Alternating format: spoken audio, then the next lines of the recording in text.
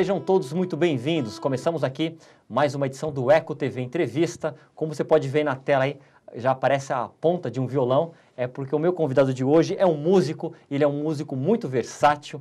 Então realmente vai ser um prazer conversar aqui com o Vasco Faé, músico aqui que toca de quase todos os instrumentos. É isso, Vasco? Um pouquinho de cada. Um pouquinho de cada, que legal. Muito obrigado aí pela sua participação, viu? Obrigado eu pelo convite. Que legal. Ô Vasco, e você nasceu em Santo André? Sim, nasci aqui em Santo André, moro aqui em Santo André. Uhum. né? Que legal. Ô Vasco, e como é que se deu toda essa versatilidade musical, essa história de tocar um pouquinho cada instrumento? Às vezes é tão difícil tocar só um instrumento, imagina então se aventurar ali, eh, ter a noção de cada um. Fala um pouco sobre essa, este conceito.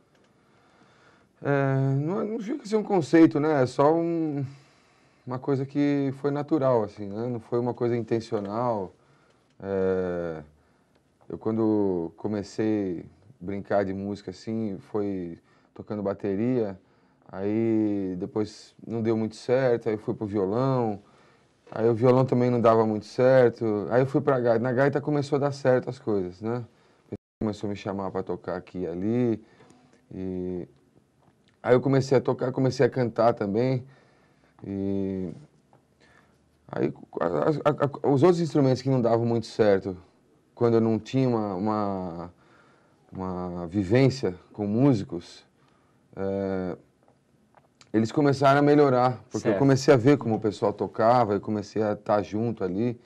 E eu acho que o fato de eu já ter dado uma pré-desenvolvida nesses outros instrumentos facilitou um pouco a compreensão de como é que eles funcionavam. Imagino que a sua inf- infância foi bem musical. Foi isso mesmo? Não, não. Não foi tão musical não. assim? Não, não.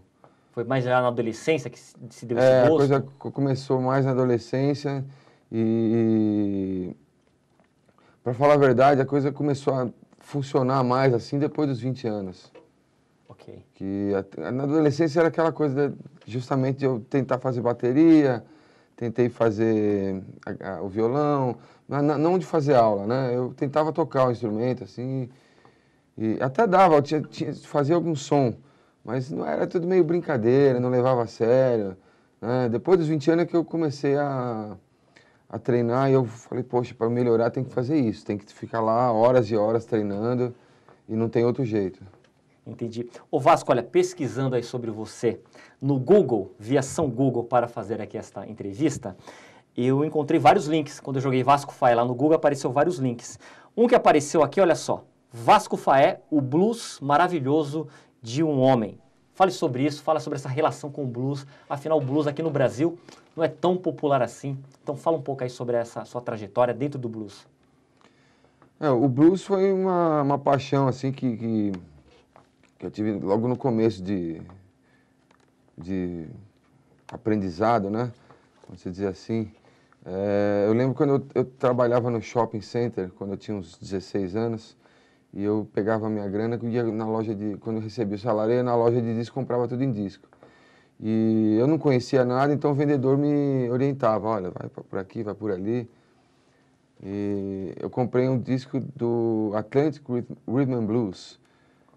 É, e esse disco assim foi uma, uma paixão para mim, porque eu ouvia ele todos os dias, o tempo todo. Só que não fazia ideia de que aquilo era blues. Né? Depois, no futuro, a Nancy, que é minha, minha esposa, né? na época era minha namorada, isso foi em 90, ela me comprou um, um CD do Eric Clapton e ali eu mudei de vez, né? Ali falei, ah, não, isso aqui é, é blues, né? Blues, é isso aqui, então vou começar a treinar. Comecei a, a- a ler, a, a- comprar mais discos de blues. Comecei a estudar um pouco o assunto, né? Legal. Olha, agora eu vou parar um pouco aqui com as perguntas aqui, ô Vasco, até aproveitando aí também, vamos deixar um pouco musical aqui essa entrevista. Você está com o violão aí em punhos e também tem aqui uma gaita. É, Faz uma canja então, pode ser? Opa. Vamos fazer uma parada aqui na- nas Vamos lá. E ainda também tem um, é um outro instrumento aqui ou uma... o quê? Esse de... Ah, não, aqui é, um, é uma... Não, é, é, o bolsinha, porta-gaita, ok. né? Ah, ok.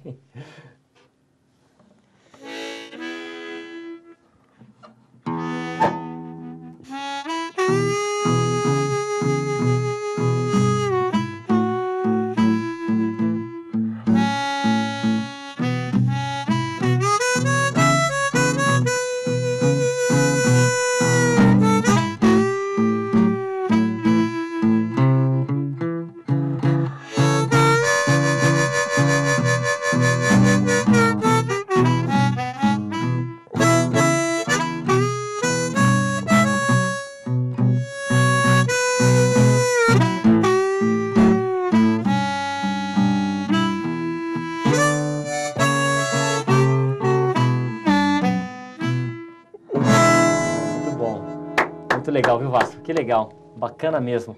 E essa batida do blues é, tem toda ali uma, algo bem autêntico nessa. Você vê essa batida, você já identifica aí como, como o blues. Ô Vasco, e além do blues, o que que toca aí no seu fone de ouvido no, nos momentos aí da. Putz, cara, você eu. está em casa? Eu, pra, pra escutar música assim, eu sou.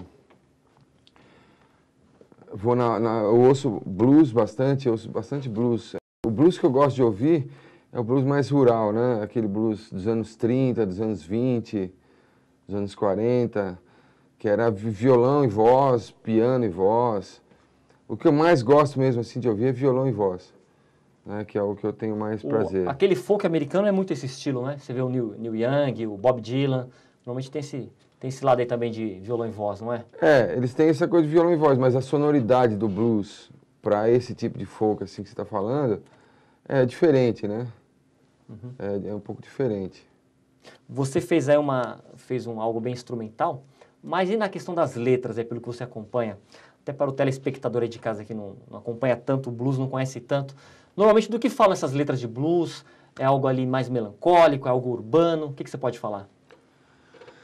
Depende muito da época, né? Depende muito da época. Tem, tem muita, o, o blues tem, é uma música de muitas épocas. Né? Como o blues é, é, é um estilo de música centenário, já tem 112 anos de existência é, oficial, né? Porque o blues foi, oficialmente ele começou a existir em 1903, com a primeira partitura que foi escrita. Tá. É, mas ele já existia antes, já existia antes ali nos nas estações, nas ruas do, dos Estados Unidos. Então o blues ele tem várias épocas. Então tem a época que o cara falava de, de escravidão, tem as letras que falava sobre é, o dono das terras, o que, que, que, explorava as pessoas, que não necessariamente escravos, mas que o cara, por exemplo, ia morar na terra de um cara, só que o cara para conseguir morar naquele lugar ele tinha que pagar muita coisa, ou tinha que ser explorado, coisa e tal. Então falavam sobre essas coisas, sobre essa exploração. É, você tem blues que fala, muito blues que fala sobre amor, amores frustrados, né? É, tem alguns blues que fala sobre amor que deu certo, né? O cara que exalta a, a esposa. Uhum. Tem o, o, o, o blues que fala sobre drogas. Tem muita coisa que fala sobre droga também, mais antigo, né? E... Entendi. E é, essa questão das drogas, hein, o Vasco? A, o reggae normalmente está relacionado aí, sempre tem a, um gancho aí com a maconha, né? A questão do reggae. A, a bala, né, chamada balinha, na questão da, das raves, então, seja, a própria cocaína também no, no cenário um pouco aí do, do jazz. Normalmente, quando você lê as biografias desses grandes cantores, você acaba encontrando ali na, na biografia deles esse tipo de droga. Você falou da questão das drogas, e o blues, tem alguma tem algum alucinógeno, tem alguma, alguma droga ali que está mais relacionada com esse estilo de música, desses grandes artistas do blues que você conhece? Cara, eu acho que tá muito. É, acho que tem um pouco de tudo, viu, cara? Assim, é, se você for falar do Brasil, é, é, é, é sempre acaba caindo na. O pessoal acaba caindo na, na, na cocaína, na maconha, porque aqui não tem a, a muita. Quantidade. Não recebe assim uma, uma por exemplo, heroína, por exemplo, que nem você falou do jazz, uhum. né? no jazz dos anos 40, dos anos 50, o que rolava muito entre os, os, grandes nomes do jazz era a heroína, né? E... Então aqui no Brasil você tem, ouvo falar assim, pouca coisa, mas não é muito não, viu? Tá, o pessoal não, tá não é ligado no cenário. É Ainda muito, bem, né? O pessoal não é muito louco, claro, não. Entendi. Que bacana. Olha, eu vou chamar o intervalo agora, o Eric já está me sinalizando aqui, mas Eric, eu vou chamar esse intervalo aqui usando aqui a trilha sonora do blues, pode ser? Então, Eric, segura um minutinho aí. Vamos lá, Vasco, ah, enquanto aparece o intervalo, vamos aqui para...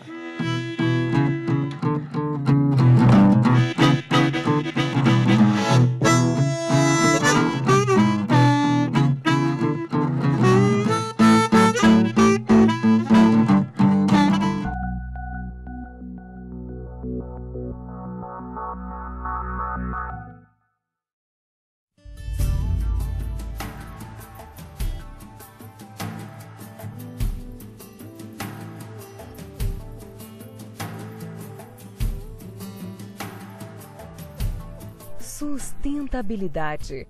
Palavra comprida, com um significado mais amplo ainda, que carrega quatro conceitos ao mesmo tempo: ecologicamente correto, economicamente viável, socialmente justo, culturalmente diverso. Parece complicado, né? Mas as atitudes por trás delas são bem mais simples. Para resumir, sustentabilidade é o equilíbrio entre o que a gente precisa da natureza e o que a gente oferece em troca. É economizar recursos e utilizar melhor o que a gente consome. Água e energia, por exemplo. É reciclar. É diminuir resíduos e poluentes. É pensar para onde vai tudo que a gente produz e descarta. E de onde vem tudo que a gente usa.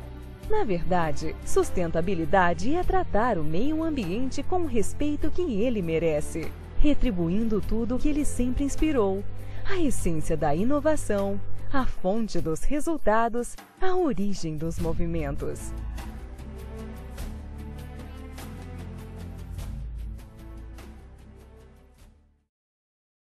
Eu sou mais um brasileiro com registro civil. Tenho os meus direitos desde o Eu nascimento. também tô nessa corrente que tem que seguir em frente. O país inteiro está com a gente. A certidão é de graça, é um direito humano. Procure na maternidade, no cartório mais próximo ou informe-se na prefeitura sobre os mutirões.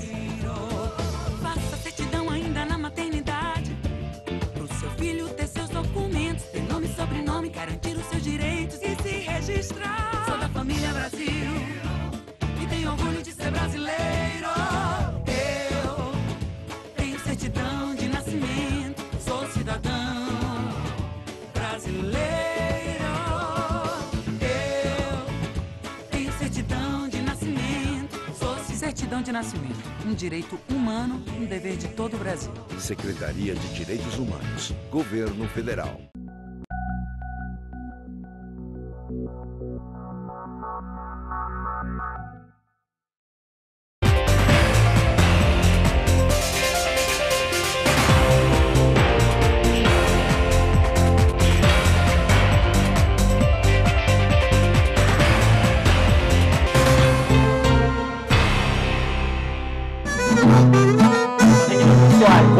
Soares, hein.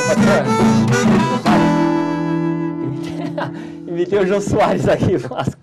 Fiz o, aquele movimento. Ô Vasco, que legal que nós voltamos aqui, estamos de volta aqui com o Vasco Faé, falando de blues, de música, de muita versatilidade musical. Ô Vasco, e até você voltou com blues aí mais swingado, mais batido. Algumas pessoas acham que o blues ele é introspectivo, que nem você vai ah, escuta, faz aquela viagem mais de pensamento, mas não é isso, né, Vasco? Tem essa parte também das pessoas dançarem. Fale sobre isso.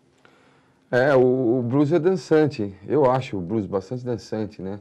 É, existe o blues melancólico, existe o blues alegre, existe o, o blues, é, como que é?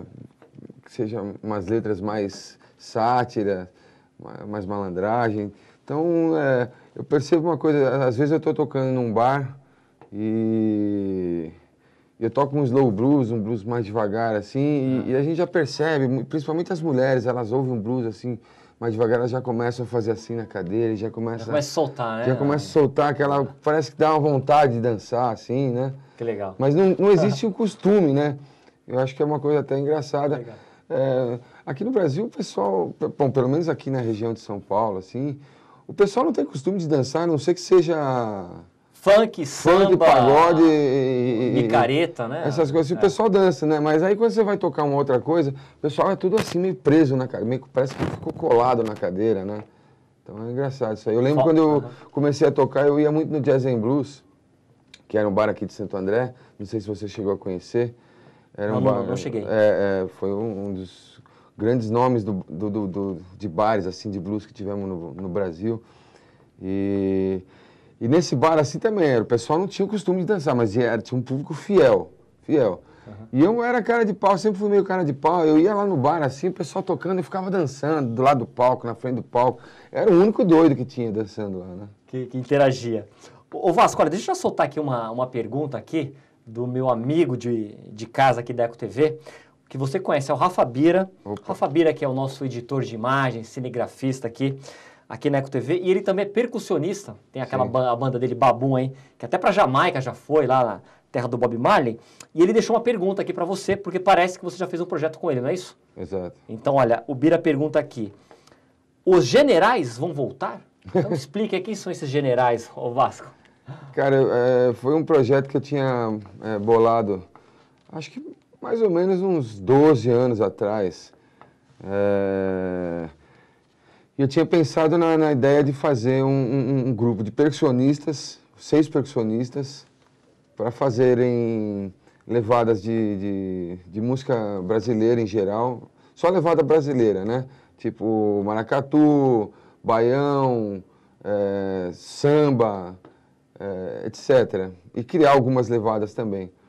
E tocar em cima dessas levadas os clássicos de blues e rock. Entendi. Né? Olha que Então- legal, hein? É, então tinha algumas músicas em cima, alguns blues em cima de baião, de maracatu, até do próprio samba. E ficava muito interessante, Interessante. né? Ficava muito legal. Seria mais ou menos assim, é, Luiz Gonzaga e Bezerra da Silva no, no- no- na entrada do... Seria mais ou menos essa a ideia? Canções, por exemplo, desses dois que eu citei aqui? Não, a gente não tocou músicas deles. Ah. A gente fazia só a parte rítmica brasileira. Tá. Só a percussão. Ah, entendi. A Ok. percussão fazia música eh, brasileira, Ah, tá. fazia ritmos brasileiros, e as músicas eram blues e, e- e rock. Né? Tá, ok. É, inclusive eu até brinco que o, o Sambor copiou essa ideia, né? Porque isso aí, bem antes do Sambor fazer isso que o Tinha Sambor que ter faz, patenteado, a gente já, a gente já é. fazia isso nos Generais. E era um, um- um projeto que eu tinha nomeado de Vasco e os Generais. né? E, o, e o Rafa fazia parte desse projeto. Não existe, assim, uma... uma uma intenção de, de, de- voltar a esse projeto, porque eu tenho tocado meu trabalho solo de outra maneira, estou tocando bastante com... Eu faço um- um- uma formação que eu toco bumbo no pé direito, caixa no pé esquerdo, guitarra, voz e gaita. Ou seja, é uma, é uma é, banda... é tipo um homem-banda, é né? um homem-banda... É. E, então esse Isso. projeto ele tem, tem funcionado, tem dado certo, eu tenho tocado bastante assim, sozinho. É, não sei qual seria a viabilidade agora de fazer um projeto desse, até porque se a gente tocasse um projeto desse hoje, iam falar que a gente estava imitando o sambô, né? Na verdade, antes de, de- de acontecer isso a gente já estava fazendo esse projeto, né? Entendi. Ô Vasco, e sobre essa... Agora sim, eu acho que um conceito. Não sei se a palavra conceito agora eu vou conseguir empregá-la bem. Tocar sozinho no palco, ah, esse perfil, essa característica. Você sente falta assim de tocar numa banda? Aliás, você já tocou no blues etílico. Fala um pouco sobre isso, sobre essa sua relação só no palco e tocando vários instrumentos e também a sua experiência em grupos. Eu não sinto falta de tocar em banda porque eu toco numa banda, né? Eu toco no Irmandade do Blues. O Irmandade do Blues é uma banda que tem 22 anos, 23 anos de, de, de, de- de trajetória, né? E toca com frequência? O- o- Tem épocas que toca mais, tem épocas que toca menos. Então agora, por exemplo, a gente está meio parado, que nós estamos fazendo alguns ajustes na banda lá. E, mas nós vamos voltar agora no, no carnaval. No carnaval nós vamos tocar em São Francisco Xavier, no Fotosofia, que é um bar de amigos nossos que tem lá, um, um restaurante, na verdade, espaço cultural, né? Que a gente sempre toca lá e é muito bacana, o pessoal vai para ver o show. E então a Irmandade tem essas épocas assim que dá, dá uma diminuída, principalmente quando tem um lançamento de disco, né?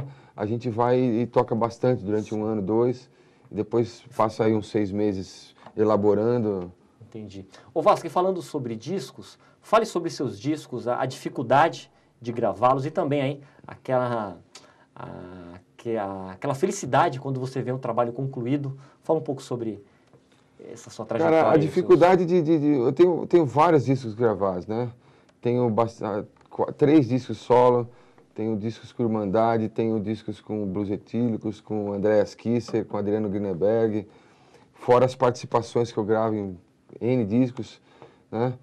Mas ah, a grande dificuldade é que nesse, nesse ramo assim, de blues, eh, não tem eh, uma, uma, uma infraestrutura eh, direcionada, né?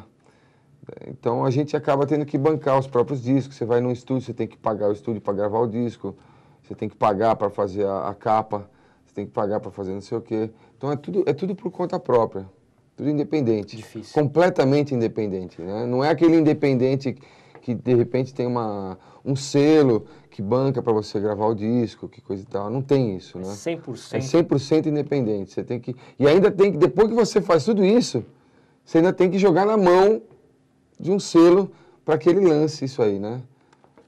É, porque o cara não vai pagar para você fazer o CD. Então ele, ele pega o CD que você já fez, e, e- ou um selo, ou uma distribuidora. A distribuidora você tem que mandar prensar o disco para a distribuidora vender por aí. Você tem usado muito a- as redes sociais, até essa questão da música nessa era digital. Também a- as gravadoras também levaram um, um tapa ali, né? Então fala, fala um pouco sobre isso, como é que você usa as mídias digitais, o Vasco? Cara, eu, eu hoje em dia eu tô bem mais devagar com isso aí. Confesso que, assim, bastante gente que, que curte, que acompanha meu trabalho, sempre reclama comigo. Poxa, mas você não divulga, você não... Porque eu já fui bem mais eh, aficionado nisso aí. Nas- nos primeiros anos de internet, eu me... Entrei muito na internet, fazia site, fazia redes... eh, tinha o MySpace que eu fazia, dava um trato no MySpace. Depois o MySpace mudou pra caramba, ficou bem diferente. Eu perdi a mão de como mexer, fazer os códigos de HTML para fazer lá. Então eu entrava muito ali. Eu fazia essas coisas de site e tal, mas não era que eu trabalhava com isso, não. Porque eu sempre trabalhei com música. Mas eu aprendi a mexer justamente para divulgar o trabalho. E, então eu fazia muita coisa. Na, na época do Orkut, eu fazia muita divulgação, fazia um monte de coisa. Mas depois eu parei, né, cara? Porque eu, eu, eu vi que a rede social, ela não estava me trazendo um, um- bom resultado eh, imediato. Né? Não era aquela coisa de divulgar para a galera e a galera ir no show. Né? Até porque na, na minha rede social, por exemplo, no Facebook, eu tenho muita gente adicionada, muita gente, mas é, é gente lá de Manaus, a gente de, de- do. Nordeste, a gente do Sul, a gente e, de, vai de- de estados, você- chega tenho- a tocar lá, Vasco? Sim, sim. é- é- Fo- Além de São Paulo, qual estado que você mais se apresentou? Cara, eu me apresentei bastante no Nordeste com o Papaléu, que ele tem um projeto lá que chama-se Oi Blues by Night. Toquei já algumas vezes em Minas, eh, Rio de Janeiro menos, né?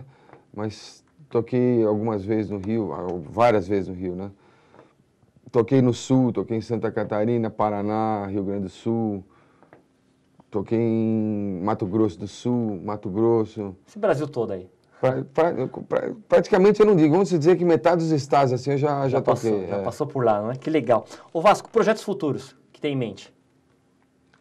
Fazer mais discos, né, cara? Não tem assim um, um projeto específico né, que vai rolar. né? Eu toco todas as sextas-feiras num bar de São Paulo que chama, é um bar bem legal, é tradicional, que, que tem lá na Vila Madalena, chama-se Piratininga Bar. né? Então, quem tiver afim de curtir um pouco o meu trabalho lá no Piratininga, é, Piratininga Bar. E não tem assim um projeto específico, assim, olha, eu vou fazer agora um. Você sabe que vai ser difícil porque viver de músico, viver como músico não é fácil, Vasco? Acho que é como qualquer outra profissão, né, cara? Né? Se você for analisar, toda profissão é difícil, Tem né? né? Toda profissão no começo é difícil, depois você dá uma, uma guinada, e aí depois dessa guinada vem a, a, a, a estagnação, e aí você tem que aprender a se virar para você inovar e, e- e- né, e- fazer aquilo lá voltar. Agora eu estou num período assim que eu, eu descobri esse formato com a caixa, com o bumbo, que eu sempre fiz bumbo, né? Depois, eu, há, uns, há uns anos atrás, eu, eu introduzi a caixa. Então, esse formato tem dado bons resultados. Né? legal, que bacana. Vasco, olha, muito obrigado, viu? Eu que Muito agradeço. obrigado velho. mesmo, foi muito agradeço, bacana. Fábio. E já deixo aqui o convite para uma próxima, um próximo bate-papo, Legal. próximo blues aqui, exatamente aqui, na, na hora do almoço aqui na- no ABC. Realmente foi muito bacana, viu? Gostei muito, valeu mesmo, Legal. ok? E olha, vou terminar aqui essa entrevista. Segura mais um pouco aí, viu, Eric? Deixa pelo menos uns, quatro- uns 40 segundos aqui. Vamos terminar aqui com o ritmo, com o blues aqui do querido Vasco Faé, que é daqui de Santo André e faz esse trabalho de versatilidade.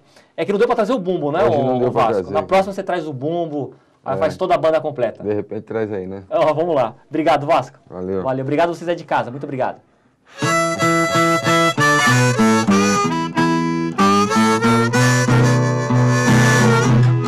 I'm gonna move, baby, way out to the outskirts of town.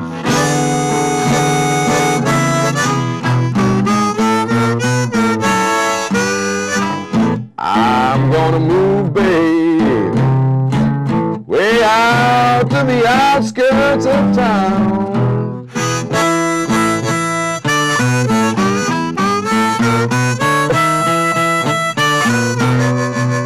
I'm gonna move pretty baby until I get myself unwound.